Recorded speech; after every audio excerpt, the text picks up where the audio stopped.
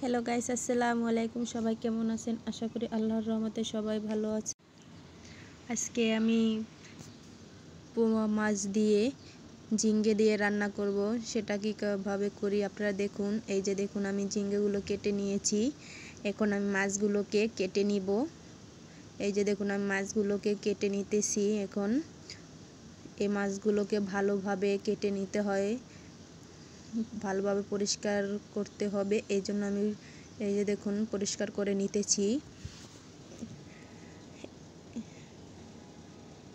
এক একজনে এক একভাবে এই তরকারিটা রান্না করে আজকে আমি অন্যরকম করে রান্না করব, সেটা কীভাবে করি আপনারা দেখতে থাকুন, আমার সাথে থাকুন। এই যে দেখুন মাছটাকে আমি এখন কেটে নিব। মাছটাকে আমি কেটে নিতেছি।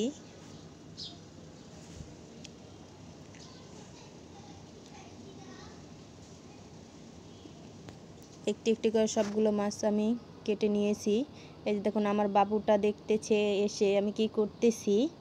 এখন আমি মরিচগুলো, কাঁচা মরিচগুলো কেটে নিতেছি। এখানে আমি এখন পেস্ট কেটে নিব। কাঁচা মরিচগুলো কাটা হয়ে গেছে, এখন আমি পেস্ট কুচিয়ে নিব পরিমাণ মতো। যে দেখুন, আমি পেঁয়াজের ছোকলা ফেলে পেস্টটাকে ধুয়ে তারপর কাটতেছি। এই দেখুন, আমি পেস্টটাকে আমি কুচিয়ে নিব।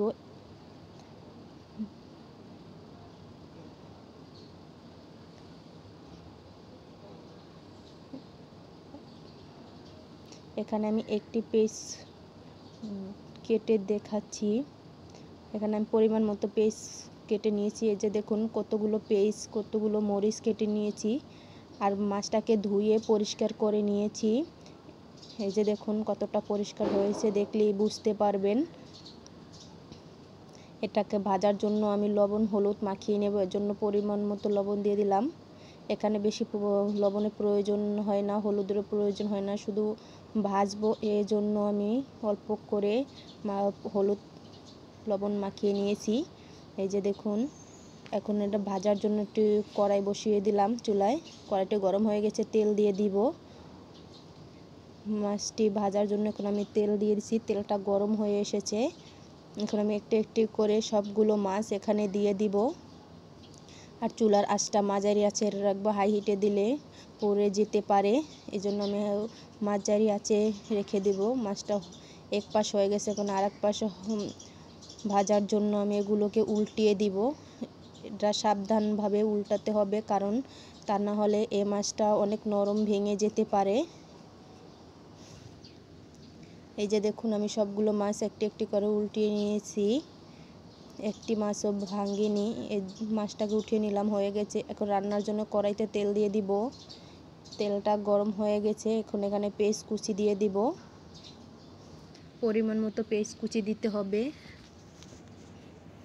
এই যে দেখুন পেস্টটাকে ভেজে নিয়েছি। এভাবে পেস্টটা বাদামি কালার করে ভাজা হয়ে গেলে আমি এখানে দিয়ে দেব আদা রসুনের পেস্ট। এখানে অল্প পরিমাণে আদা রসুনের পেস্ট দিয়ে দিলাম। আদা রসুনটা ভাজার পরে পরিমাণ, অল্প পরিমাণে পানি দিয়ে দিব, কারণ আদা রসুনটা পুড়ে যেতে পারে।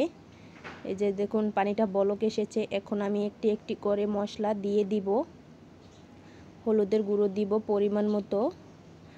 মরিচের গুঁড়ো দিব পরিমাণ মতো। এখানে বেশি একটা পরিমাণ মরিচের গুঁড়া লাগবো না, কারণ আমি এনে কাঁচা মরিচ ব্যবহার করব। দিয়ে দিলাম ধনিয়া গুঁড়ো পরিমাণ মতো, জিরে গুঁড়ো পরিমাণ মতো, লবণ দিয়ে দিব স্বাদ মতো। এই যে দেখুন মশলাটা আমি নাড়াচাড়া করে দিলাম, এখন কষিয়ে নিব। কষানো হয়ে গেছে, এখন আমি এখানে ঝিঙ্গেগুলো দিয়ে দিব। এই যে দেখুন আমি কীভাবে ঝিঙ্গেগুলো কেটে নিয়েছি। এ যে কোনো মাছ দিয়ে এই তরকারিটা খুব দারুণ টেস্ট হয়। এই যে দেখুন, এখানে কোনো পানি ব্যবহার করব না। এই দেখুন, প্রচুর পানি বের হয়েছে। এ পানি দিয়েই আমি এটাকে কষিয়ে নিব। এই যে দেখুন, অনেকটা পানি বের হয়েছে। এখানে কেউ পানি ব্যবহার করবেন না।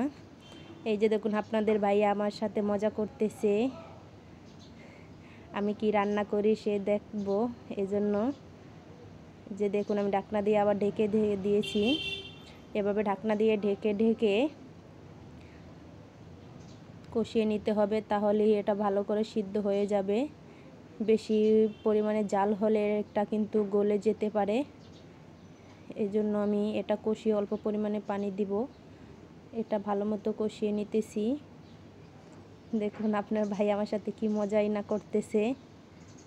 আমি কি রান্না করতেছি সেটা জানার জন্য। এই যে দেখুন, পানিটা শুকিয়ে গেছে কিন্তু তরকারিটাও সিদ্ধ হয়ে গেছে। এর চেয়ে বেশি আর জাল করলে গলে যেতে পারে। এজন্য মাছ দিয়ে একটু পানি দিয়ে দিব। এই যে দেখুন, আমি পানি দিয়ে দিতেছি। এনে বেশি পানি ব্যবহার করা যাবে না, কারণ মাছটা আমি আগে ভেজে নিয়েছি। আবার তরকারিটাও ঝিঙ্গে তরকারিটা আমি ভালো করে কষিয়ে নিয়েছি।